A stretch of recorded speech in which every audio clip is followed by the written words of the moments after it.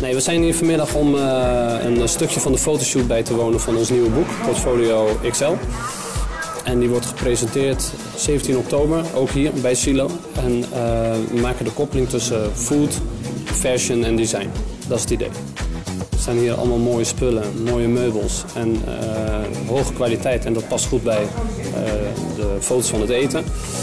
En volgens mij zijn de modellen ook wel van hoge kwaliteit.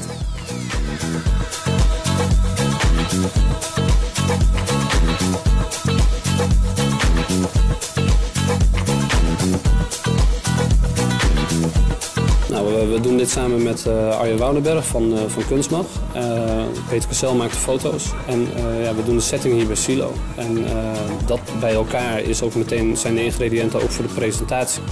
Ja, en, en dan, maar met kleine partijen en korte lijnen, dus dat is perfect. Kijk eens, kijk. En wat je dus ziet, is het verschil tussen plaat en geen plaat. Dat, dat is overduidelijk.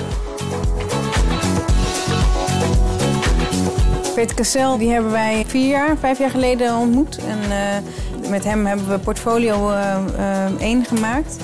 En dat klikte eigenlijk heel goed. En het is een soort chemie. En waardoor hij begrijpt wat Peter op het bord legt. En waardoor hij begrijpt wat wij graag willen laten zien. En hij kan dat precies pakken. En dat is toch wel heel bijzonder.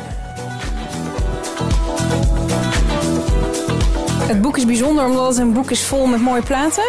En eigenlijk met geen tekst, geen recepten. Maar gewoon mooi. En dat moet het zijn. En zo moet het ook voelen. Het moet lekker op tafel thuis. En uh, de ene dag heb je zin in pagina 2 en de andere dag in pagina 15. Al naar gelang hoe je je voelt.